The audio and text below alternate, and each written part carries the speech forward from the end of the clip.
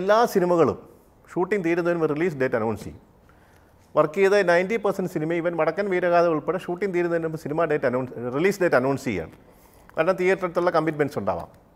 അങ്ങനെ ഈ പൂമടത്തെ പെണ്ണ് റിലീസ് ഡേറ്റ് അനൗൺസ് ചെയ്തു. ഓഗസ്റ്റിലോ മറ്റോ ഞങ്ങൾക്ക് ഷൂട്ട് ചെയ്യാനുള്ളത് എട്ടോ ഒമ്പതോ ദിവസം ഷൂട്ടിംഗ് ബാക്കിയുണ്ട്. റിലീസ് ഡേറ്റ് എല്ലാം കൂടെ പതിനഞ്ച് ദിവസം കയ്യിലുള്ളൂ. അങ്ങനെ ഈ ഷൂട്ടിംഗ് ഒരു സ്ഥലത്ത് നടക്കുന്നു എഡിറ്റിംഗ് ഒരു സ്ഥലത്ത് നടക്കുന്നു പാട്ടിന്റെ സംഭവം ഒരു സ്ഥലത്ത് നടക്കുന്നു. പല സ്ഥലത്തായിട്ട് പല ഡിവിഷൻ നടക്കുകയാണ്. അപ്പോൾ എം എസ് മണിസാർ എന്ന് പറയുന്ന എഡിറ്ററാണ് വർക്ക് ചെയ്തിരുന്നത്. സത്യത്തിൽ പറയുകയാണെങ്കിൽ പത്തൊൻപത് ദിവസം ഞാനും എം എസ് മണിസാറും ഉറങ്ങിയിട്ടില്ല. സാറ് പറയും ഒരു രണ്ട് ഒരു ദിവസം സാറ് ഇടാൻ കുറച്ച് ഐസ് കിട്ടുമോ? എന്ന് ചോദിച്ചു. കണ്ണിൽ വെച്ചിട്ട് എഡിറ്റ് ചെയ്യുക അന്നത്തെ ഇങ്ങനത്തെ എഡിറ്റിംഗ് അല്ലല്ലോ ഫ്രെയിം ബൈ ഫ്രെയിം എഡിറ്റ് ചെയ്യണ്ടേ. അങ്ങനെ പത്തൊമ്പതാം ദിവസം നമ്മൾ ഷൂട്ടിംഗ് കഴി എഡിറ്റിംഗ് കഴിയുന്നു എല്ലാം റെഡിയാക്കി എല്ലാം സെറ്റ് ചെയ്തു പ്രിന്റിന് കൊടുത്തു. പിക്ചർ ലാബിലേക്ക് പ്രിന്റിന് പോയി കഴിഞ്ഞു. പ്രിന്റിന് പോയി കഴിഞ്ഞു അവസാനം പ്രിന്റ് ചെക്ക് ചെയ്യുന്നൊരു പ്രോസസ്സുണ്ട് അത് ആരെങ്കിലും ഒരാൾ ചെക്ക് ചെയ്യണം. ഒന്ന് ക്യാമറ അസിസ്റ്റന്റ് ചെക്ക് ചെയ്യണം അസിസ്റ്റന്റ് ചെക്ക് ചെയ്യണം ഞാൻ പോയി.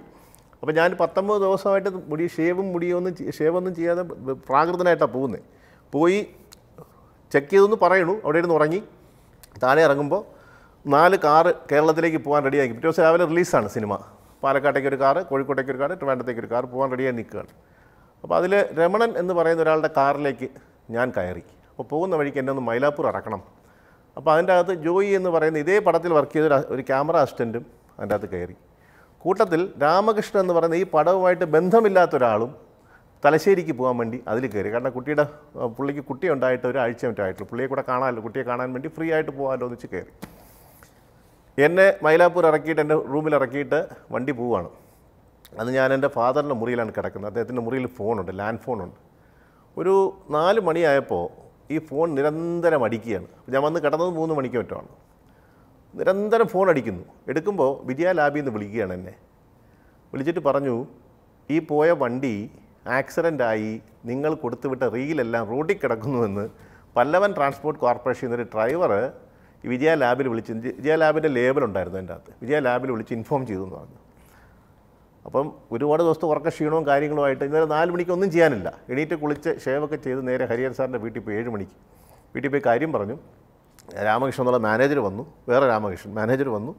ഞങ്ങൾ പോയി നോക്കുമ്പോൾ ഞങ്ങൾ ഇത്രയും ദിവസം ഇത്രയും സ്ട്രെയിൻ എടുത്ത് വർക്ക് ചെയ്ത റീൽസ് ഓരോ ഫ്രെയിം സൂക്ഷിച്ച് സൂക്ഷിച്ച് എഡിറ്റ് ചെയ്ത റീൽസ് ഒന്നൊന്നര കിലോമീറ്റർ ദൂരം ഇങ്ങനെ കിടക്കുകയാണ് റോഡിന്റെ രണ്ട് സൈഡിലും ഇതിന്റെ എൻഡിൽ ഈ കാറ് തീപ്പെട്ടി കൂട് പൊളിയുന്നത് പോലെ പൊളിഞ്ഞിരിക്കുകയാണ്. അതിന്റെ അകത്തൊരു ശരീരമുണ്ട്. മനുഷ്യ ശരീരമുണ്ട്. നാല് ചുറ്റും ആൾ കൂടിയിട്ടുണ്ട്. മണി ഒമ്പത് മണി പത്ത് മണിയൊക്കെ ആയിട്ടുള്ളൂ. ആൾ കൂടിയിട്ടുണ്ട്. ബാക്കി മൂന്ന് പേരെ പറ്റി രണ്ട് പേരെ പറ്റി ഒരു വിവരവും ഇല്ല. ചോദിച്ചവർ പറയുന്നത് അവരെടുത്തുകൊണ്ട് ഇവരെടുത്തുകൊണ്ട് പോയി എന്ന് അവസാനം ചെങ്കൽപ്പെട്ട് മെഡിക്കൽ കോളേജിൽ പോയി നോക്കുമ്പോൾ കുട്ടിയെ കാണാൻ പുറപ്പെട്ട രാമകൃഷ്ണൻ മരിക്കുകയാണ് ഞങ്ങൾ പോകുമ്പോൾ ഡെത്ത്. അപ്പോൾ ഒരു ബക്കറ്റിൽ കൂടെ ഇങ്ങനെ ബ്ലഡ് ഒഴുകുകയാണ് ഞങ്ങൾ ചെന്ന് നിൽക്കുന്ന ഒരു ടു മിനിറ്റ്സ് അദ്ദേഹം പോയി. തൊട്ടപ്പുറത്ത് ജോയി എന്ന് പറഞ്ഞ ക്യാമറ യു രാജഗോപാലിന്റെ ക്യാമറ അസിസ്റ്റന്റ് കിടക്കുകയാണ്. പക്ഷേ ജോയിക്ക് പെട്ടെന്ന് തന്നെ റെക്കഗ്നൈസ് ചെയ്യാൻ പറ്റി. ശ്രീകുട്ടൻ പറഞ്ഞ് ചാടി എണീറ്റു. അപ്പോൾ ഞാൻ പറഞ്ഞ ആൾ ശരിയാണ് പെർഫെക്റ്റ് ആണ്. എന്നെ മനസ്സിലായല്ലോ. ഇമ്മീഡിയറ്റ് പുള്ളി നമ്മൾ വിജയ ഹോസ്പിറ്റലിലേക്ക് മാറ്റണം. അങ്ങനെ അന്ന് ഗാന്ധിമതി ബാലൻ എന്ന് പറയുന്ന മനുഷ്യനാണ് അത് പറയണം. ആ ജോയിയുടെ കംപ്ലീറ്റ് ട്രീറ്റ്മെന്റിന്റെയും പൈസ കൊടുത്തത് അദ്ദേഹമാണ് Vijaya hospital within hours Vijaya ഹോസ്പിറ്റലിൽ ആംബുലൻസ് വരുന്നു ഇവനെ കൊണ്ടുപോകുന്നു രക്ഷപ്പെട്ടു.